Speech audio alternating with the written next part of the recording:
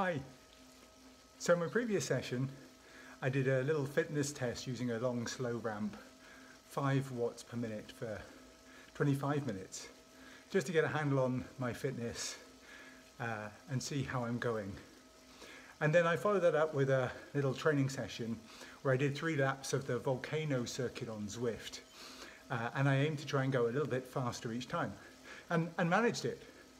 So I think it was 651, 643, 634, something like that. So I actually managed to produce a slightly faster lap each time. And um, because that total ride lasted around about 20 minutes, it also kind of doubled up as a surrogate FTP test where I'm trying to look at my maximum power output for 20 minutes. Now, of course, because it was structured a little bit more easily than an FTP test in terms of I didn't just go all out for 20 minutes. I had one lap a bit easier, one lap probably about FTP, and then the last lap where I was trying to lift it above that. Um, I probably didn't get exactly to FTP, and um, based on my initial uh, ramp incremental test, that 5 watt per minute test where I hit nearly 250 watts, um, I thought I might be able to sustain about 215 from how I felt going through that test. When I analysed the numbers afterwards, I found that I actually averaged 205 watts for that last effort. But um, overall, it gives me a feel for where I am. Now, a key thing then is how we can use that, that, how I can use that data. Well, the first thing is it's a nice benchmark for me to compare my fitness against in the future. So I can repeat one or both of those activities, and particularly the ramp incremental test. I'll incorporate that into my training on a semi-frequent basis whenever I'm curious, either because I'm feeling a bit tired or because I think I've moved on. I can do all or part of that test just to see how I match up.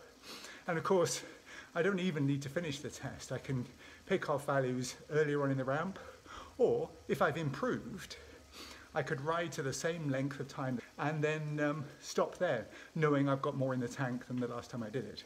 So it's a useful, they're both kind of useful benchmarks um, for looking at changes going forwards. The other thing, of course, that they do is they help me identify the kind of training intensities that I might want to hit. Now, how do they do that? Well, this is where science loses its uh, perfection in terms of translating theory into practice, but a really obvious way is if I want to do a hard 20 minute session, then I know roughly what kind of power output I can dial up. But a really easy way to check that out now is to, for me to do a 20 watt effort, sorry, keep doing that, a 20 minute effort today. So that's what I'm going to do. I'm warming up gently now while I'm talking to you. And then in a few minutes, I'll start a steady effort based on what I think I might be able to do. So we know that I can do 205 watts for 20 minutes based on the previous ride. I think I can go a bit better than that. So, but conservatively, 210 or 215. So using Zwift, I can set my ergometer to hold a constant power output for that period of time, which is what I'm going to do. And I'm going to pick, I'll be ambitious, 215 watts. I'm going to see if I can ride 20 minutes at that. So just taking control of the erg now. The 215 watts is all set up and I'll join you again in about 19 minutes or so. Let's see how I do. Wish me luck. So I've just gone through the halfway mark, 10 minutes down. As you can hear, it's hard work and it was even harder. Straight from the get-go, I realized I'd bitten off more than I could chew with 215 watts. So after five, I dropped it to 210 and that's what I've been riding at now. Still, this isn't about a supper fest.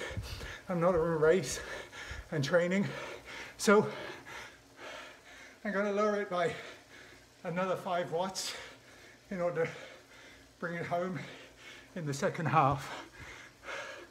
I'll be back, hopefully, if I make it in the last five minutes, last minute. Okay, I'm into my final minute now. I'm feeling much better than I was at halfway. Dropping to 205 watts really helped. I'm now at 152.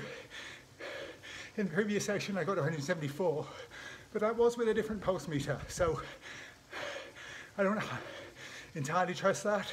And then for other reasons that I'm too out of breath to talk about now, but can do later, I expect to see a fairly sharp drop in my max heart rate as I resume training hard like this again anyway.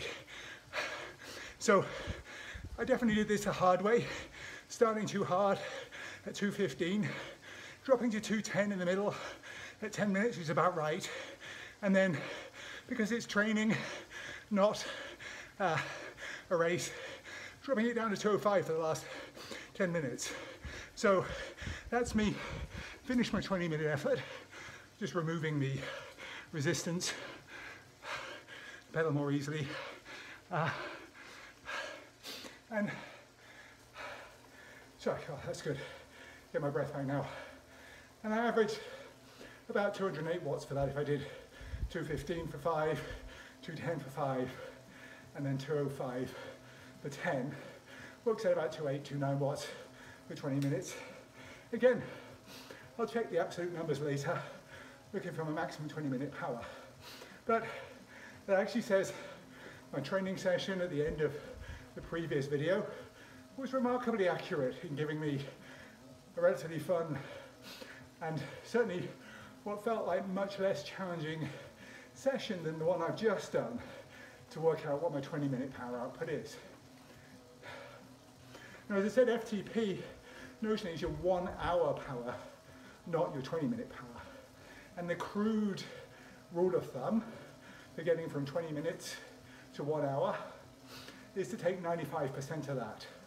But I'm actually going on GCN in a couple of days time when this video is recorded talk with Simon Richardson about some recent research on, on this and we'll discuss how that 95% is really just an estimation so the only way to verify that is to ride for an hour at that kind of power output or close to it to see whether that looks feasible. I'm promising you I'm going to do that but it kind of makes sense uh, at some point and these first couple of efforts have obviously been much shorter than that so it won't do me any harm to go for a longer effort. Right now, I've been riding for 30 minutes with a 10 minute warm up and a 20 minute effort. And I'd say that's a session not quite done. So what I'm going to do is go back and ride at that same power output again, but in much, much shorter blocks, just say a couple of minutes. And then take a minute rest, do another couple of minutes, another minute rest, and so on. And in that way, accumulate another 10 minutes or so at the power output that was my maximum for 20. But what that means is by the end of this session, I'll have ridden at my maximum 20 minute power for 30 minutes. And by having done that, I can be reasonably confident that I've pushed my fitness along in the right direction a little bit because I haven't just expressed my maximum capability by riding my best for 20 minutes, but I've actually done my 20 minute best for a total of 30 minutes in that session. And I raise this because it's kind of fundamental to how I tend to think about training. It's kind of like, if that's the intensity you've been training at, what could you keep?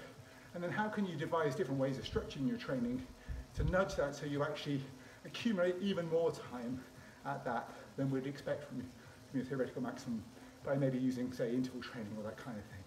Anyway, I'll talk about that more in a subsequent vlog. Thanks for joining me, and uh, please do join me again.